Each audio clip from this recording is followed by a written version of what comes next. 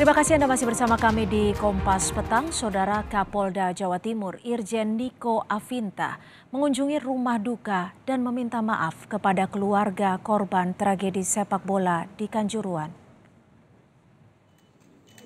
Didampingi Kadif Humas Polri, Irjen Dedi Prasetyo, Kapolda Jawa Timur, Niko Avinta mendatangi rumah duka pasangan suami istri Yulianto dan Devi. Keduanya memberikan santunan biaya pendidikan kepada putranya Alfiansyah dan akan dibawa ke Jakarta bertemu Kapolri. Kapolda Jawa Timur Irjen Niko Avinta meminta maaf kepada keluarga korban tragedi sepak bola di Kanjuruan. Ia berjanji mengusut tuntas kasus ini agar tidak terulang.